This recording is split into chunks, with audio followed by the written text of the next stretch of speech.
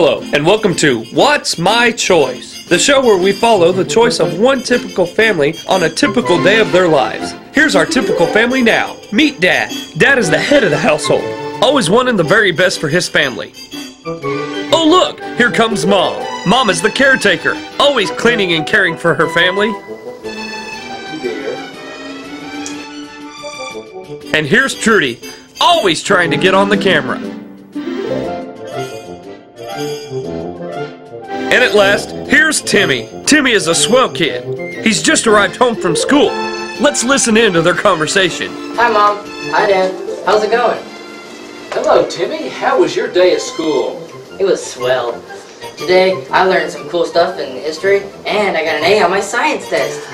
Good job, Timmy. That's my boy. Thanks, Mom.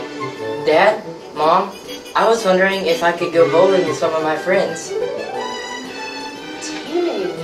it's a school night. You have homework to do. Please, I won't be out late. No, Timmy. Your mother is right. You know the rules. No going out on school nights. Uh oh, it looks like Timmy has some choices here. How will he respond? Will he A. Throw a screaming tantrum? Oh, come on, guys. I'm, that's ridiculous. B. Go anyway?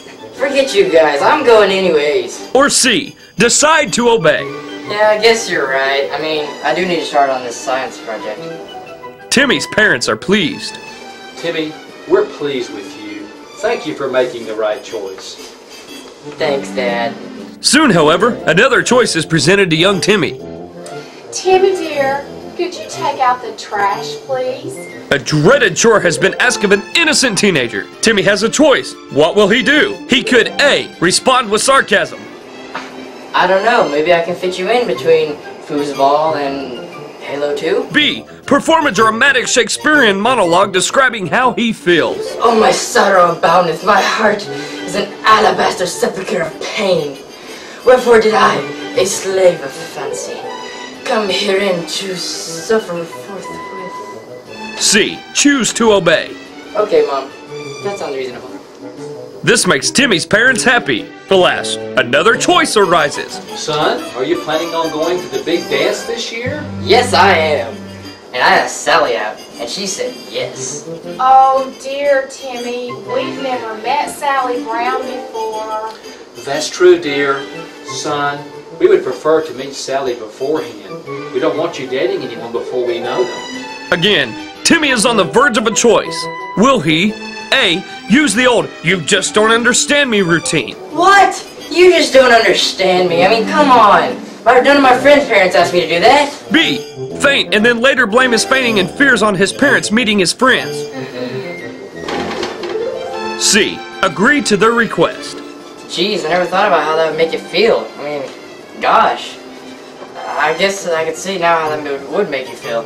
I'll go and ask her to come to dinner, and then y'all can get to meet her. I mean, I know it's pretty important to y'all.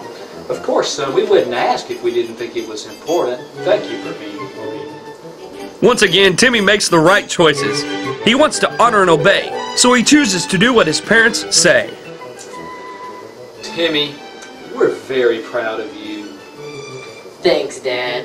So remember the lesson you've learned from Timmy today. Honor and obey your parents. It's the right thing to do. Be sure and join us next week on What's My Choice when Trudy eats Timmy's birthday cake. Until then,